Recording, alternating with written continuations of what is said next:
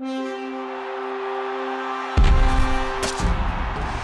knew when Andrew Luck and RG3 went 1-2 in April's draft that they would be compared to each other throughout their careers. And what we're going to continue the debate, debate right now who's going to be Offensive Rookie of the Year. And that's where you helped us in this week's Voice of the Fan. And Arthur Arkush is here with me to break down the results. And Arthur, it was a whopping result. Andrew Luck, 76% of the vote. You said he's going to be Rookie of the Year. RG3, 24%. Even though Griffin definitely has the better stats going through the first couple weeks of the season. But I think, Arthur, fresh in the minds of our viewers and our voters, the injury to RG3 on Sunday.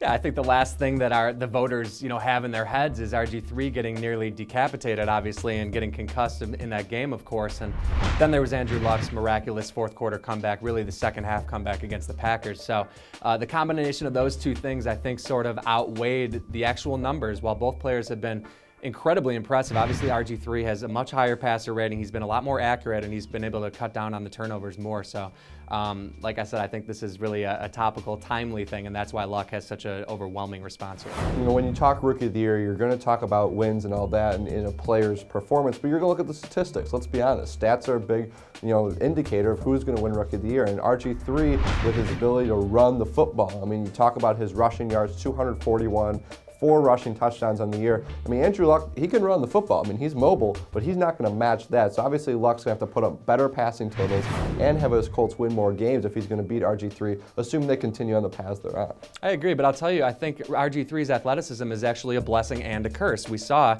it was his inability to get out of bounds or be able to know when to slide that got him into big trouble. If that continues, he's going to continue to get into big trouble. He just doesn't have the body type to be able to withstand that type of abuse. You hit on Luck's sneaky athleticism. We saw it on that last fourth quarter drive. He was able to scramble on third and seven and pick up a critical fourth down, uh, excuse me, a first down conversion. So they both have uh, the ability to create outside the pocket, but obviously Griffin is far superior in that respect. I think one bright spot about both these players is there was so much hype around them, and they've performed admirably so far. I mean, there hasn't been a Ryan Leaf yet among these two players, and you look at the Rookie of the Year conversation on the offensive side of the ball, you have Alfred Morris, Robert Griffin's teammate. You look at Trent Richardson, Doug Martin, but none of these guys are at the level of Luck and Robert Griffin. I mean, think obviously a lot can happen. We have a long way to go the rest of the season, but we had predicted it would be these two going down the line. It still is going to be these two. So Arthur, I'm going to put you on the spot right now. The voters think it's going to be Luck by a wide margin. Do you think at the end of the year it's going to be Andrew Luck?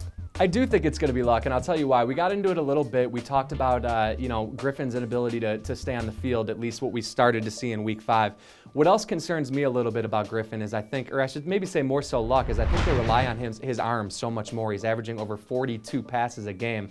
He doesn't have a good offensive line either, and he also is going to get killed if they keep it up at that rate. But I think when you look at the Redskins, they have a little bit more they can do on the ground. I don't think they have to lean as heavily on Griffin. So I think that might lend to Luck continuing to put up some bigger numbers. Oh, yeah, there's also Reggie Wayne, who is playing out of his mind right now. RG3 doesn't have a Reggie Wayne at his disposal. Yeah, if Wayne gets 200 receiving yards every game, I think Luck's going to put up astronomical numbers and definitely win Rookie of the Year. But it should be fun to watch the rest of the season. What do you think? Do you agree that Andrew Luck at this point should be considered the leader for Offensive Rookie of the Year? Let us know in the comments and head to our website at profootballweekly.com.